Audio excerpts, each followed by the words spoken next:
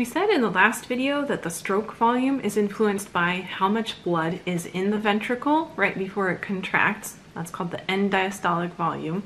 We're going to abbreviate that so we don't have to keep writing that out each time. So EDV, uh, here, EDV, anytime you see this, this is going to be end diastolic volume. Um, that end diastolic volume Okay, so what is it that influences uh, the volume of blood in the ventricles? It seems like that's something that, well, why would that vary? Um, it has to do actually with the blood vessels. So we're going to come back to the blood vessels for this video and remember um, the, the recall the differences, similar, similarities and differences between arteries and veins. So arteries, remember, remember they are more muscular. Um, they have to have more of a rebound in order to sort of propel the blood along. And veins, not so much. By the time the blood makes it to the veins, um, there's not, not as high of a pressure, and so veins don't have to have that same sort of elasticity. Um, however, okay, one consequence of that, the fact that they don't have as much muscle aligning them, means that they are more compliant. And so it turns out um, that veins just tend, they, they can stretch out more than arteries do. So as a result of that, just in terms of where the blood tends to hang out in the body, most of the blood tends to hang out in the veins. It's an easier place to be. There's not enough, not as much of a driving force to, to move the blood out of the veins. So just looking at the distribution here, check out the pie chart, um, about two thirds of the total blood volume is in the veins at any one time. Okay, how much blood is in the veins then influences uh, how much blood ends up in the ventricles.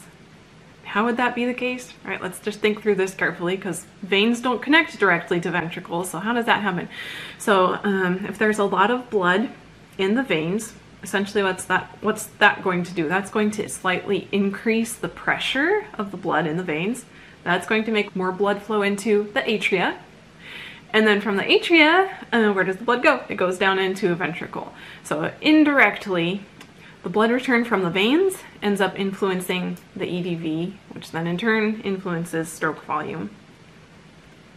So we should look at this a little bit more. What are things that influence venous return, return of blood from the veins into the heart? We've mentioned blood volume, kind of thought through that one already. So the higher the blood volume, um, the more venous return will take place. There are a number of things that can influence total blood volume in the body. Um, we're going to be coming back to this one in a fair bit of detail when we talk about the kidneys. Okay, so the kidneys are one of the organs that have a major role in, in just maintaining the blood volume, and that's through the production of urine. Um, depending on how much water is shuttled into urine versus returned to blood, um, that will influence blood volume breathing itself. Breathing actually has a role in helping to maintain the pressure throughout the body. Uh, kind of all we're going to say about that one for right now. Let's come over to venous pressure. Okay, so the pressure in the veins. We know that this one, uh, it's going to depend on how much blood volume there is because that will it will influence how much the veins are stretched. However, there are some other things that come into play depending on how constricted the veins are. So are the veins relaxed or are they constricted? And that is influenced by the sympathetic division of the nervous system. There it is again. There are also, remember the skeletal muscles, usually veins travel next to skeletal muscles. And so if those skeletal muscles are active, then there's gonna be more pressure in the veins and that in turn will help um, return the blood to the heart. So several things that influence venous return.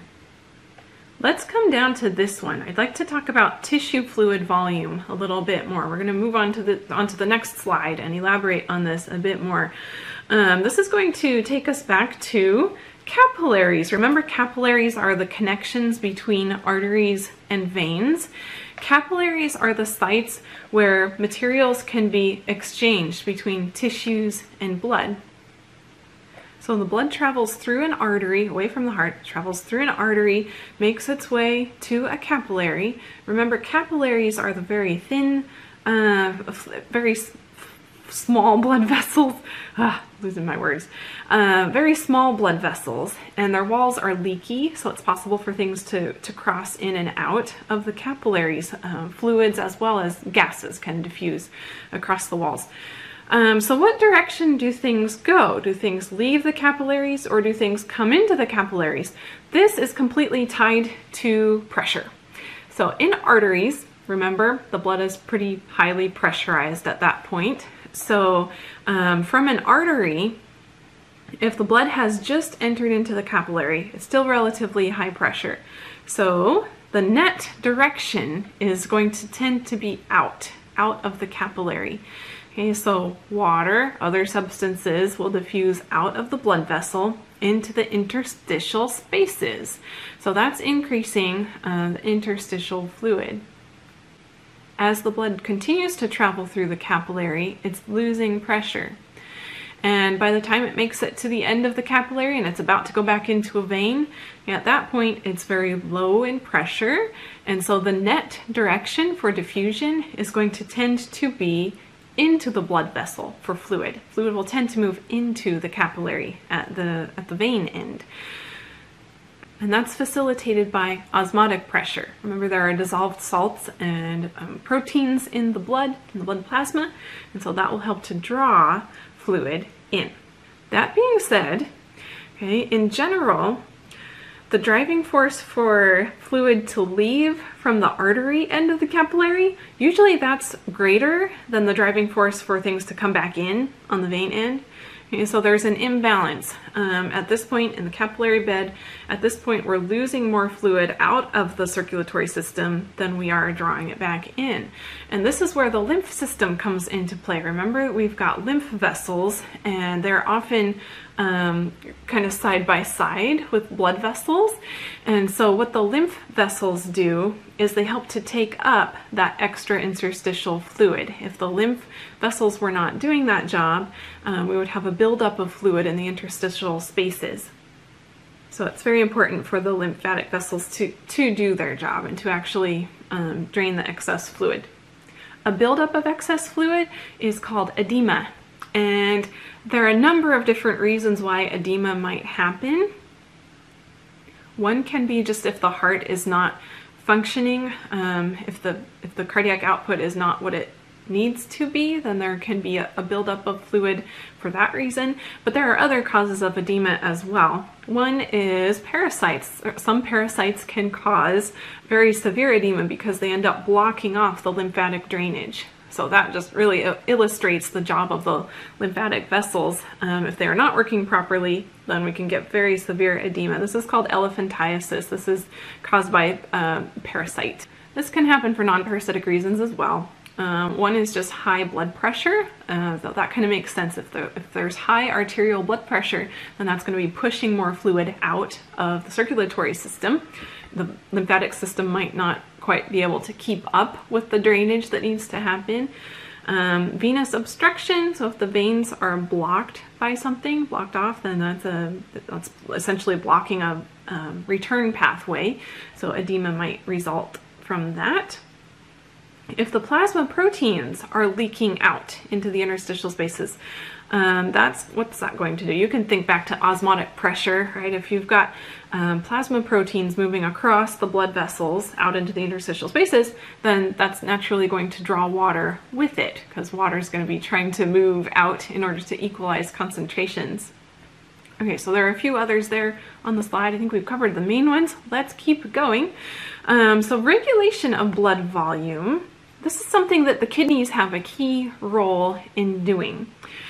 And this is a negative feedback loop that we have visited together way back at the beginning of the semester. I think this was one of our first examples of a negative feedback loop. Let's take a look at it again now.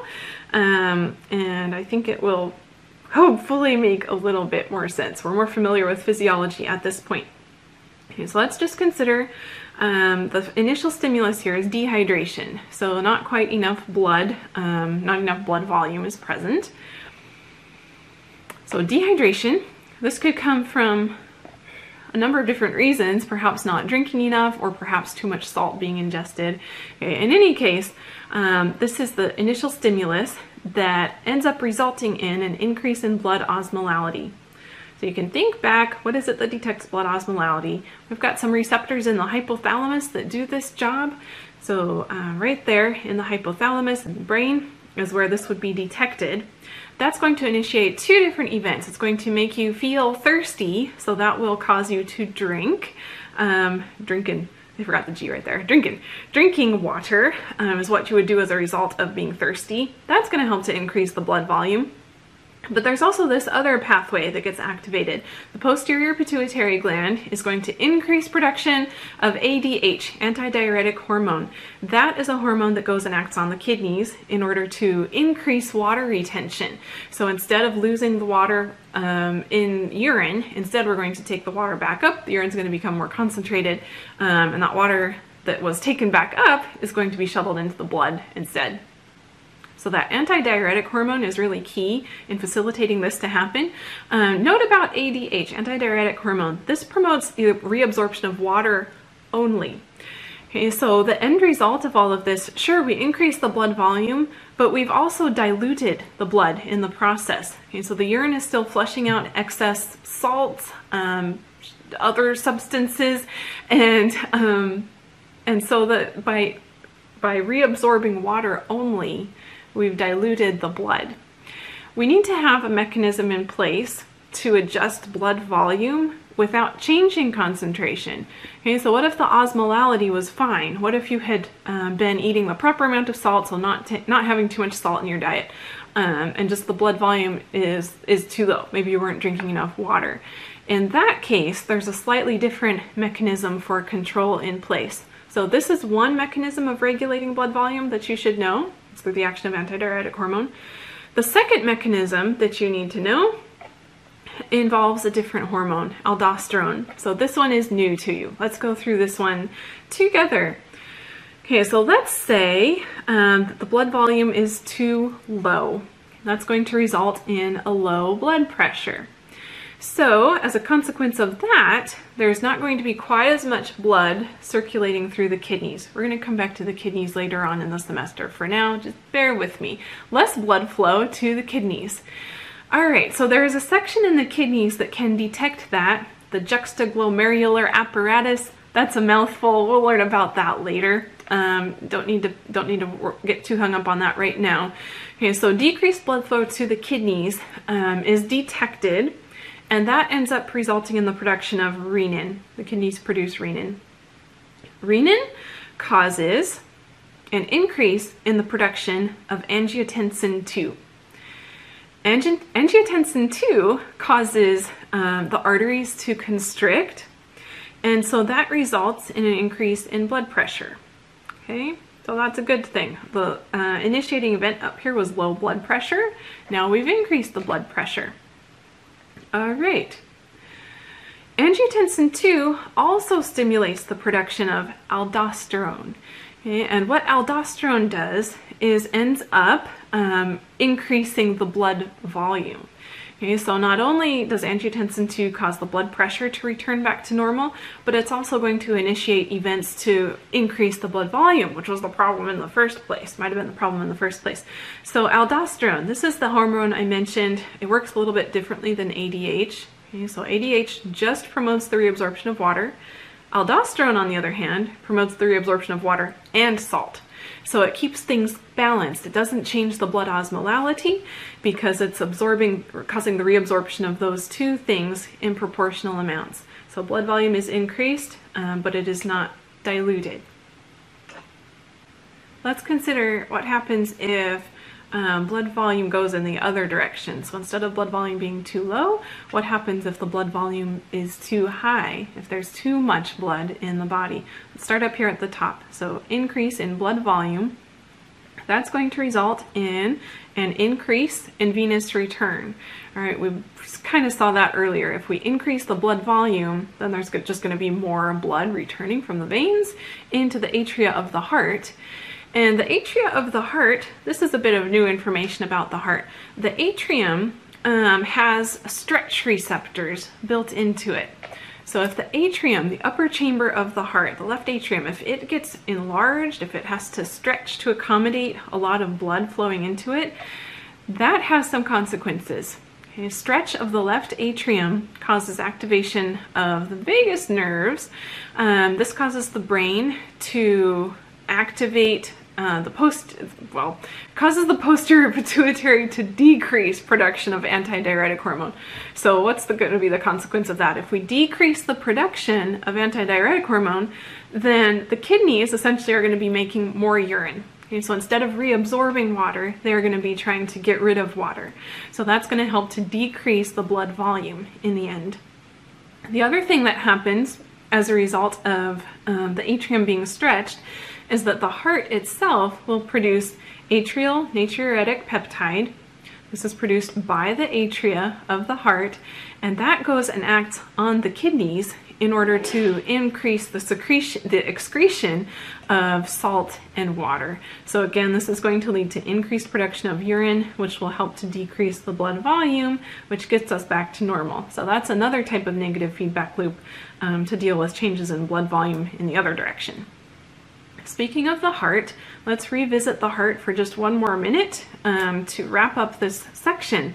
The heart itself uh, has a blood supply. So the heart, it's not able to just absorb blood and nutrients from, from the four chambers. It doesn't do that. Those are pretty much isolated chambers. The heart itself has to have a blood supply. It is a muscle. It needs to have nutrients and have a way to get rid of wastes.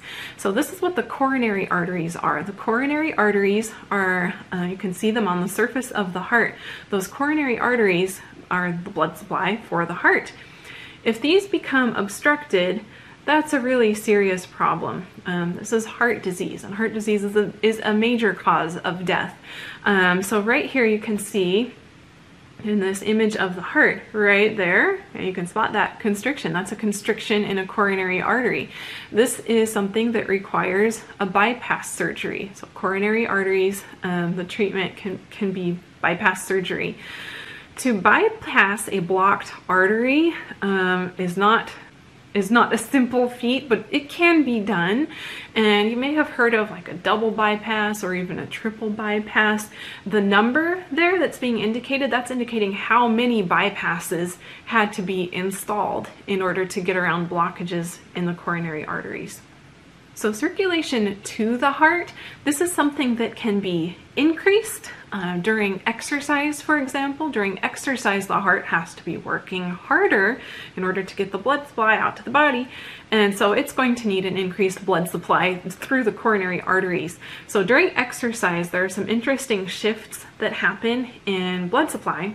Um, here's a, a good summary of, of circulatory changes that take place as a result of exercise.